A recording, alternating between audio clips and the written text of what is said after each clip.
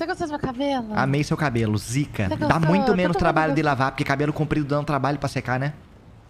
Agora o Pedro não consegue mais puxar. Hum, que desacerto. Mas não dá pra pegar só no cotoquinho, na pontinha? Ligeiro? Então, é que ele gostava de amarrar e amarrar. E fazer, dar um nó na mão e puxa, e vai lá e vai de cabresto. pá. É. O LSD Tá Tá da hora, gostei, gostei. Tá, tá